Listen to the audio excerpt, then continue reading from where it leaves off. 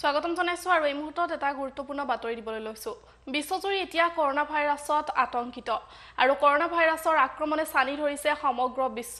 দেশত লকডাউন বৃদ্ধি কৰা হৈছে তিনি মেলৈ কিন্তু ছিকিম মুক্ত হৈ আছে কৰোণা ভাইৰাছ আক্ৰমণৰ পৰা।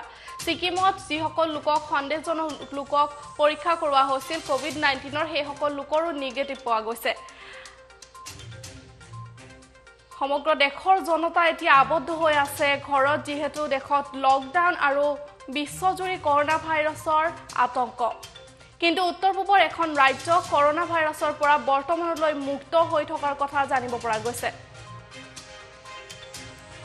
ছিকিমত এতিয়াও কৰোণা ভাইৰাছৰ নাই কোনো আক্ৰমণ আৰু ছিকিমত এতিয়ালৈকে কোনো আক্ৰমণ হোৱা নাই কৰোণা ভাইৰাছৰ পৰা মুক্ত হৈ আছে। ছিকিম সকলো সন্দেহজনক কৰোণা ভাইৰাছৰ পৰীক্ষাই নিগেটিভ পোৱা গৈছে আৰু যিসকল লোকক সন্দেহ কৰা হৈছিল কৰোণা ভাইৰাছত আক্ৰান্ত বুলি সেইসকলৰ পৰীক্ষাসমূহ নিগেটিভ পোৱা গৈছে। বৰ্তমান ছিকিমত বৰ্তমান কৰোণা ভাইৰাছৰ ঘটনা শূন্য আৰু এজনো লোকৰ কভিড নাইণ্টিন পজিটিভ এই পৰ্যন্ত ওলোৱা নাই ছিকিমত।